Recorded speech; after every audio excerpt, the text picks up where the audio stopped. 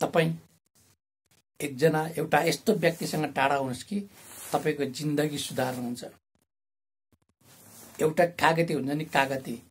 कागतीलाई काटेर निचारेर त्यसको अमिला आउन्जेलसम्म त्यसको रस आउन्जेलसम्म उसले निचारेर खान्छ र अन्त्यमा उसले त्यो कागतीको बोक्रा पनि खाइदिन्छ। त्यस्तोसँग तपाईँ टाढा भन्नुहोस् टाढा हुनुहोस् तपाईँको जिन्दगी सुध्रिन्छ। त्यो निचारिनेमा म पनि परेको छु